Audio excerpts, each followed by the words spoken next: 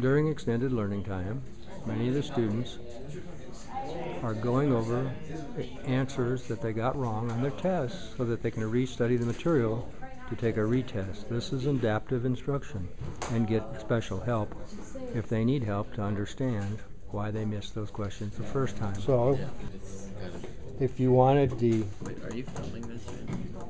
I'm just, I'm just filming, I'm not really filming you, I'm filming the uh, discussion. I'm recording the discussion. So if you have chlorine that has 17 protons and 18 neutrons, 18 minus 17 equals 1. That's how many. Now, the question is, what would it be called, right? Chlorine 1. Hmm? It's not chlorine 18. Yeah. No, it's it's an isotope. Remember when we learned about isotopes? No. No, that's why it's the max question. I Yeah. don't know what that one is either. Isotopes are atoms with different numbers of neutrons. Okay. So, so the atomic weight of this particular chlorine would be what? 35. So the atomic weight would be 35. So it'd I'm be not- called I'm- chlorine 35. How do you know Yeah. that name? Never taking another science class again. Me either. Science is my worst subject. Ever. It's not sorry. that bad. I just I'm not good at it. Cause I'm just dumb. Don't know what even. The way isotopes the are. way isotopes are named um, is like carbon 14, right? We talked about carbon 14 with oxy.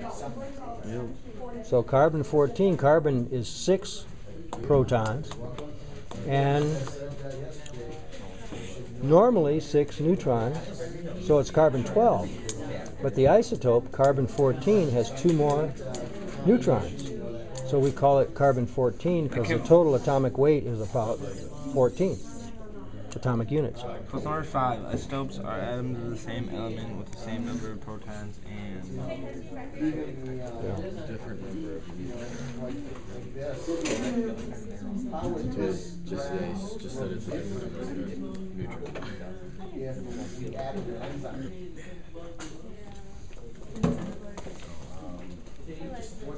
Alright, so I hate having to write in the Yeah, me question too. down. in, in Dustin, in the question for number five, Salt is added. say the opposite.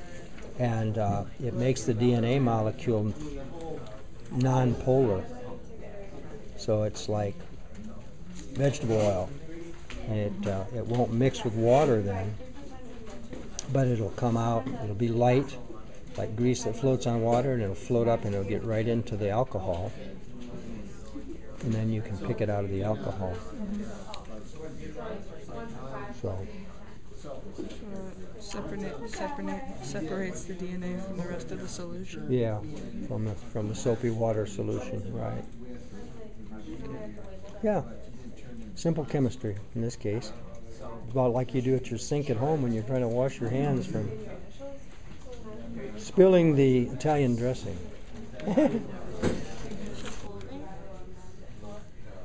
yeah, it might be a good idea. You can hold it a little. and-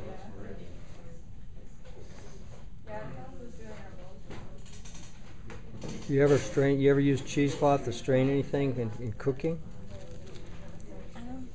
We we used to use it, but in making krepkakers. You know, ever hear of that krepkakers?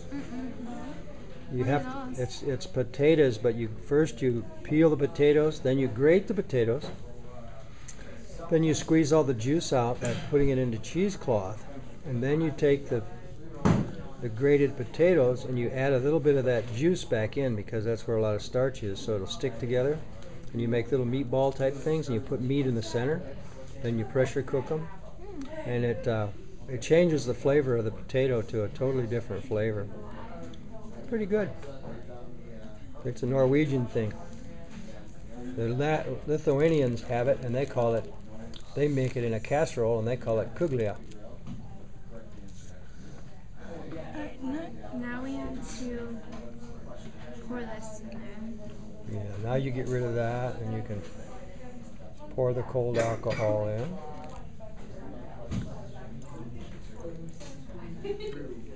And watch what happens. Like all on um, the top. It all goes to Yep. See all the white strands? Mm-hmm. There's your goober stick. Now we have to just. You just reach in there and yeah, you're just really just gonna try to attach the DNA to your little goober stick. There you go. DNA, huh? I'm not gonna taste it. I bet it tastes like strawberries.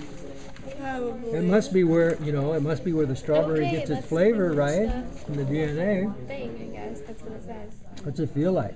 So that's it? Mm-hmm. Doesn't really feel like go? Doesn't feel like slimy, sticky or anything? It's wet. It doesn't Yeah, feel- It's just wet. It doesn't feel like what it looks like, does it?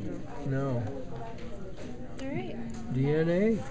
I bet it tastes like strawberries though, because that must be where strawberries get their flavor, right? There's Yeah. way to find out. Right? no, I'm just yeah. Cool. It's easy. Now you can do it at home. And watch it develop. The alcohol floats on the top.